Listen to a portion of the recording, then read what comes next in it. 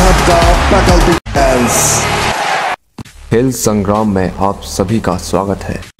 Pro kabaddi season 6 के पाँचवें दिन का पहला मुकाबला यूपी, योद्धा और पटना पायरेट्स के बीच खेला गया। इस कड़े मुकाबले में चैंपियन पटना पायरेट्स ने यूपी, योद्धा को तिरतालीस इकतालीस के अंतर से मात दी। तो ये जानते हैं चेन्नई के जवाहरलाल नेहरू इंडोर स्टेडियम में खेले गए इस मुकाबले का पूरा हाल। मुकाबले की शुरुआत में यूपी, योद्धा ने अच्छा खेल दिखाया। दूसरे मिनट में रिशांक देवडिगा के रेड के बाद यूपी, योद्धा ने तीन शून्य का स्कोर किया।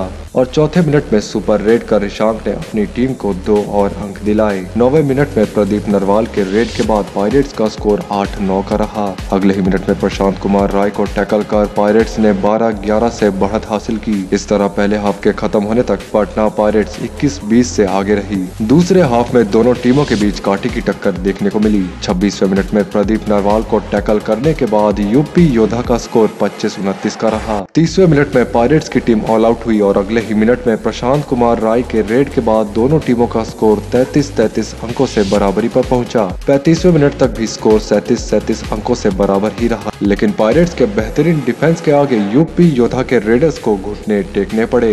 इस तरह फुल टाइम तक तिरतालीस इकतालीस के फाइनल स्कोर के साथ मुकाबला पटना पायरेट्स की टीम ने दो अंकों से जीता। पटना पायरेट्स के लिए सबसे ज़्यादा प्रदीप नरवाल ने 16 और दीपक नरवाल ने सात अंक बटोरे, जबकि यूपी योद्धा के लिए श्रीकांत जाधव ने 12 और ईशांक देवडिगा ने आठ अंक हासिल किए।